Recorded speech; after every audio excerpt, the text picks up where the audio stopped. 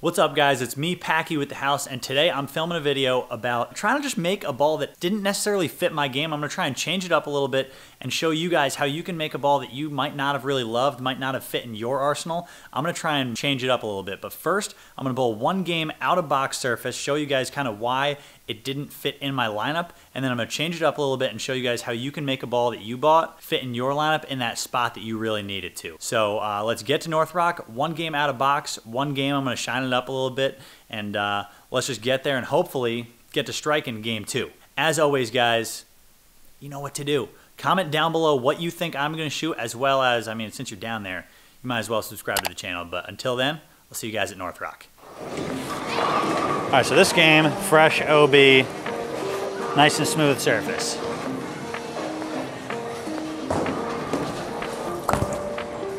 Oh, that hooked early.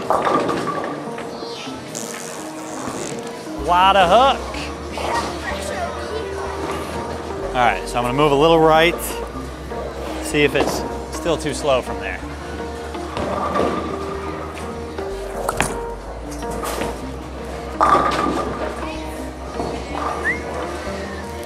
Moved a little right. I might have to move one more because that went super high flush. So one more, let's see what I can do.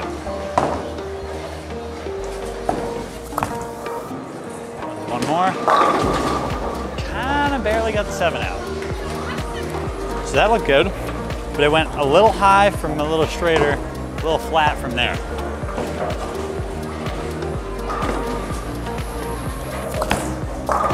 Pretty good shot. And it's like hitting super flat. So there is my issue with this ball. Or it's like flat when I move in, and it hooks a little too early when I move left. Same spot, just try and rotate it a little bit.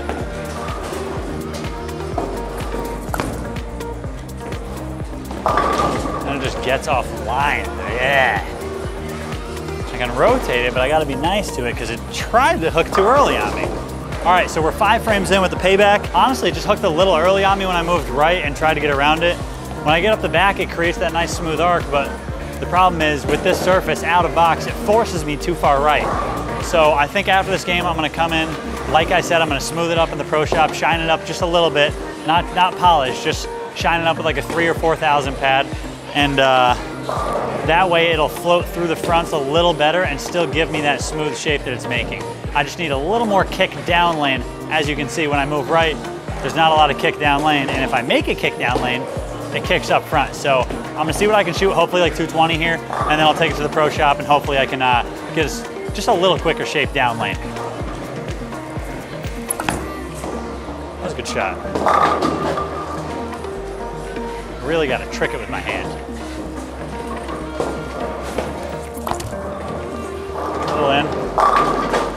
Ones that are the ones that are in are better because they, they really sit in that oil nicely move a little bit, see what happens.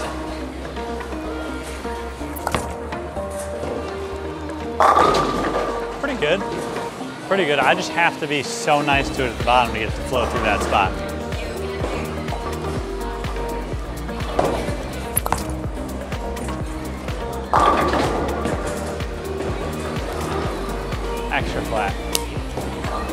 Extra flat hit. Messenger 7 looks cool, but it's really just like a bad shot or bad ball motion. It's a flat hit. It's a flat hit that you got lucky on.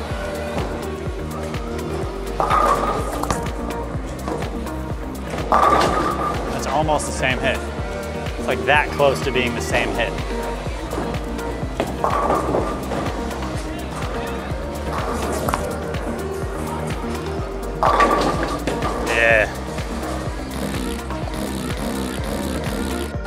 Flat. Flat.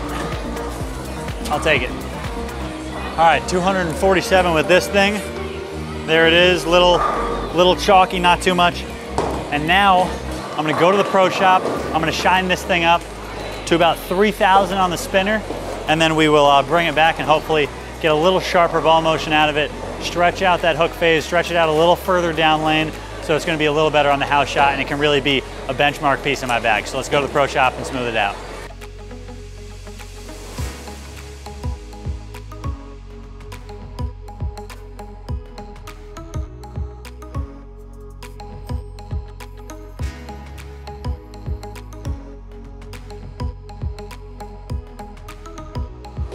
So this is my all new shiny payback. I hit it with 3,000 on the spinner in the pro shop as you guys saw and it is now brand new, shiny.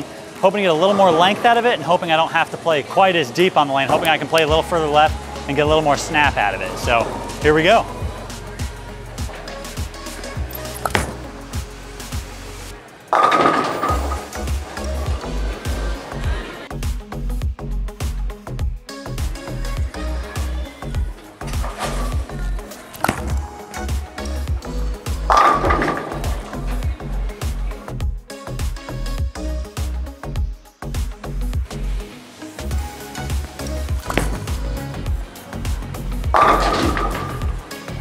I can just keep going left.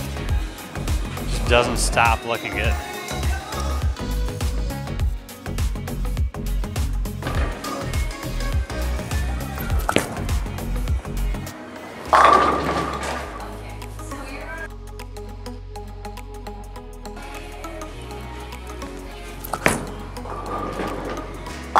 I would just never be able to play this angle with the other ball, or with the other surface, excuse me. Five frames in, five for five. Yikes. You can see it. All right, so we have a fifth frame update. This ball has obviously made me more comfortable on the lane. I'm playing, you know, 12, 13 at the arrows. Honestly, I have no idea. Probably like 12 or 13 or 14 at the arrows instead of that deeper 18, 19, 20 angle where that early surface might pick up too soon and might get lazy down lane. This one definitely controls the pocket more often for me and it gives me a higher chance of striking. So hopefully you guys can see the difference and let's get this back half the game done, hopefully a 279. I'm 10 left of where I was with the surface on. Throwing it a little harder.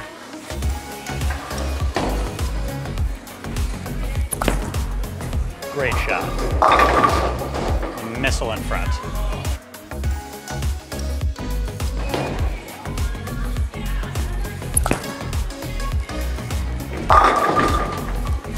There you go. Boom.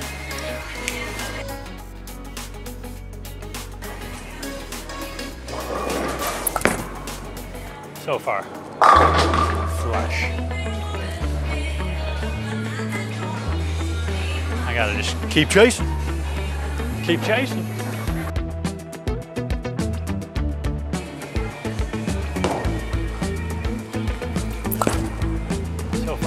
Far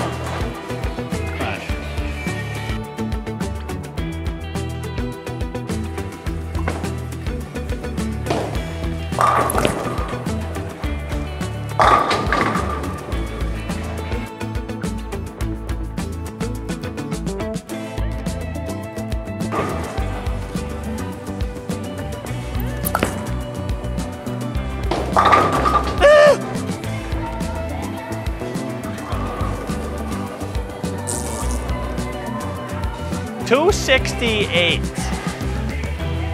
on the make.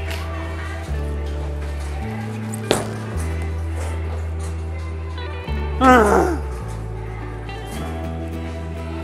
right, so as you guys could see, it was just way better from that straighter angle. When I shined it up, I got to move way left. It was way more forgiving. And the misses that I had, you know, were more misses that I could move off. That A pin at the end, move maybe one right, you know, I, I kept chasing it left to see how much how straight I could play, if it would look better and better going through the pins.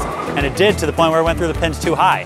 A great game that last game with 268. You saw I had, you know, plenty of room out there. I missed a couple up lane, missed a couple left, and they all just crushed the pocket. So honestly, a great game, and that just shows you that you can change the ball's surface to make it work better for your game and where you want to play on the lane.